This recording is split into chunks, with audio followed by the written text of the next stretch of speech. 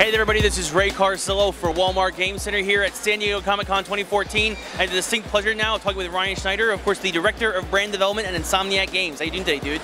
I'm fantastic. Tell us what went into the uh, the art direction a little bit with this game. We wanted to create something that wasn't filled with like this dark, dreary uh, sense of the end times that are you know seen in so many other traditional shooters. We're making something different, so therefore it should look different. What kind of goodies you're going to have us using in this game?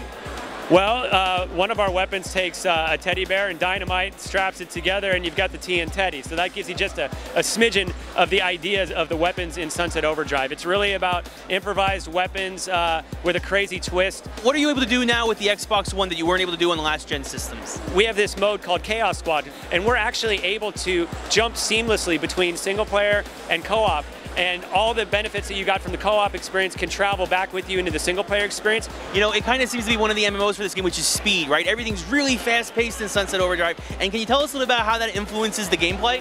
One of the reasons that Sunset Overdrive stands out in a crowded shooter, shooter marketplace is the fact that we're combining fast-paced, traversal gameplay with uh, shooter gameplay as well. But it's also a lot more fun to be able to wall run, bounce, jump, grind, and it doesn't make sense to do it off of cars or umbrellas, but it's fun.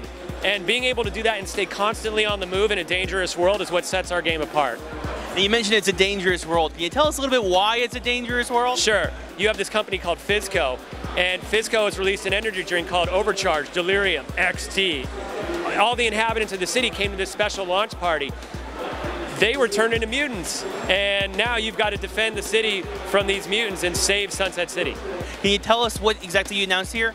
Sure, at Comic-Con this year, we really focused on character customization, and another core principle to Sunset Overdrive is it's about being who you want to be. Be the hero you want to be, and you can combine them into things that you, that you would just never get to wear in real life and let your freak flag fly high. Oh man, we are going to definitely let our freak flags fly. But now the question is, when exactly can we let our freak flags fly? Sunset Overdrive comes out for uh, Xbox One exclusively on October 28th in North America. Be sure to stay tuned to more of Walmart Game Center for all your video game needs. And until next time, I'm Ray Carsillo.